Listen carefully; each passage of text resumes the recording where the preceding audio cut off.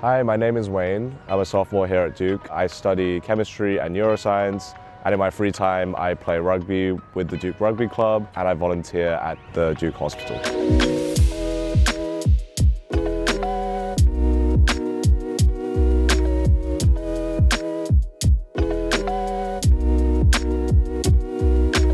So usually I'm up at around uh, 9 o'clock. I would have breakfast at West Union right there. Classes start at 9.30. I would be in class all the way until about 11, 12. I catch lunch with my friends uh, on the Bryan Center, on the plaza.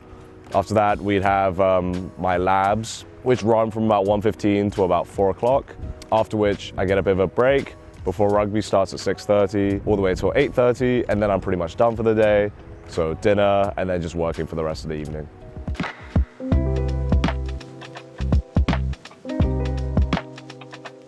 So we're in front of French Sciences. Uh, this building was donated by Melinda Gates a while ago and it's our, it serves as our chemistry building as well as all our teaching laboratories. Uh, so I have class here twice a week uh, doing my chemistry labs as well as my lectures. I'm planning on majoring in neuroscience. Obviously, uh, that's not confirmed yet, so you have until your second year to uh, declare your major. So I'm very close to declaring my major, but not quite yet. Why I chose neuroscience? Uh, it was mainly because of my research off the side. So I work in a Duke OBGYN lab with the School of Medicine where we do a lot of neurobehavioral research in uh, offsprings and uh, measure environmental toxicology. So that coincides very closely with the neuroscience major here at Duke. So I was able to get two additional credits for my independent research, which counted towards the neuroscience major. So for the neuroscience major, the neuroscience major is interesting because it has co-requisites as well as uh, the major requirements.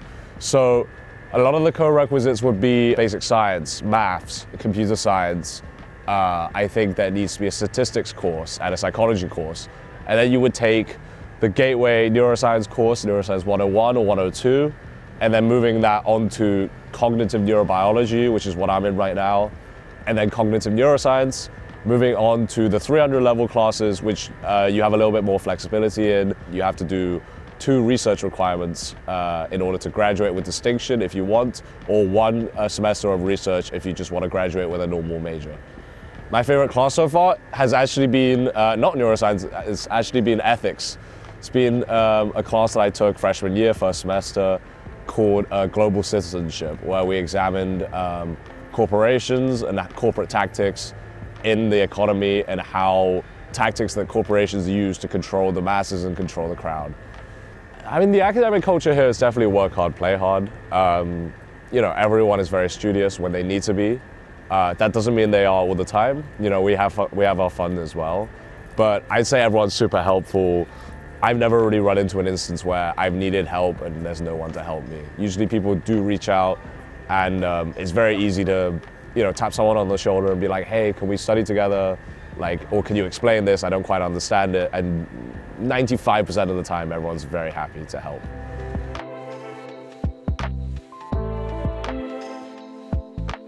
So we're at uh, BC Plaza, so Bryan Center Plaza, sort of the main central part of campus where everyone walks through uh, to and from class. So everyone's at class right now, hence why it's uh, pretty empty. But um, as soon as 12 o'clock hits and the sun's out, um, this place will be, you know, fully packed, packed to the brim. Social life here is um, is, is varied. So there is Greek life. Greek life does exist, um, and they're quite active if you choose to get into that. And um, that usually happens Wednesday onwards, so Wednesday, Thursday, Friday, um, with a bit of a rest on Saturday, actually, which is interesting. There are clubs and bars that people go out to in central Durham, so that's only about 10, 15 minutes away, so it's very convenient. There's also things like um, there's this Eno State Park, which we go to a lot during the during the weekends, during the day, uh, where you can sort of go swimming and stuff like that.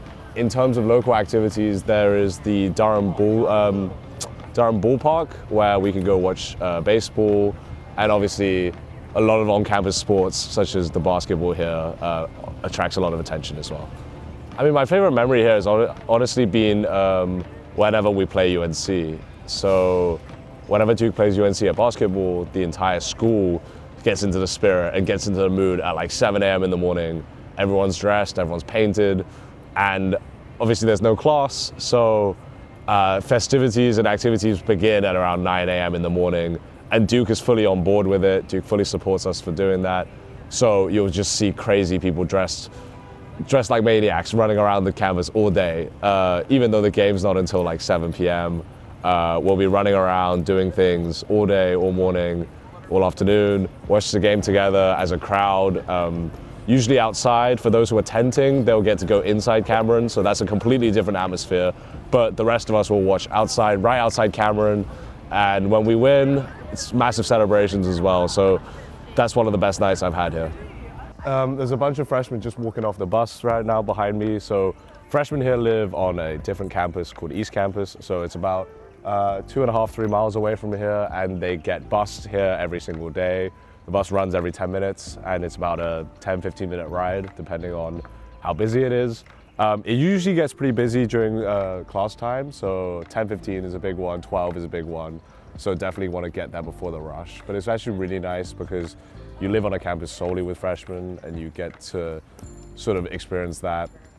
And everywhere around you, everyone around you is in your same position and you know, your age, doing the same things and just as lost as you are.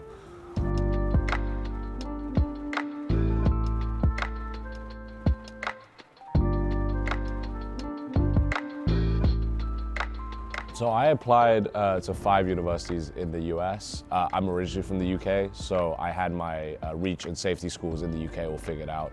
So the US was really a long shot for me, and um, Duke was one of the five, and um, actually turned out to be the only one that took me from the US. So uh, here I am. Um, I honestly haven't heard much about it, Duke, uh, before coming over, which is why I'm very happy to be doing this and to be giving everyone a bit more information about the university. I heard it was very strong in terms of bioengineering. Uh, I was doing a research paper in high school where basically all the uh, research that was coming out that I was reading was coming out of Duke University bioengineering. So I was like, this must be interesting and searched up the professor, talked to him for a little bit, and he seemed really interesting. And sort of he was the main indication that Duke was a you know academically strong school, and um, I was on a virtual tour here uh, during COVID sort of online and the campus was beautiful. So I sort of thought, why not? I'll give it a shot.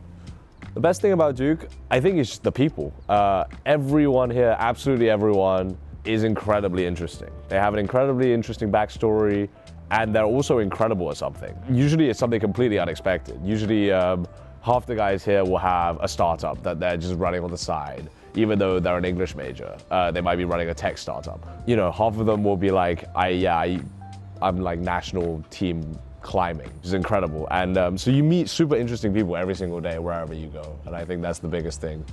That's what makes Duke Duke.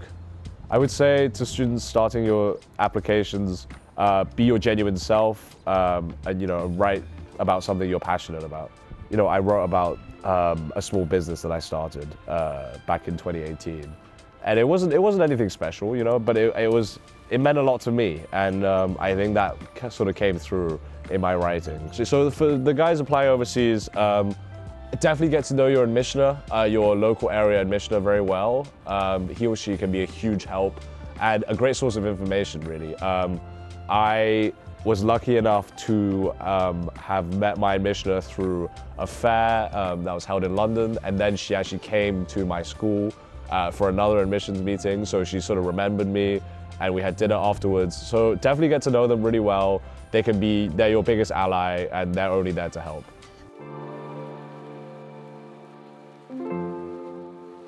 I chose to work with Crimson honestly because they offered me a free sort of consulting session, so where we just talked, and they were genuinely helpful. So in that one session, um, I sort of got a lot of insight into applying to the US. Uh, obviously, from the UK, my school didn't really have that much um, advising uh, for the US, and I was kind of oblivious of the process.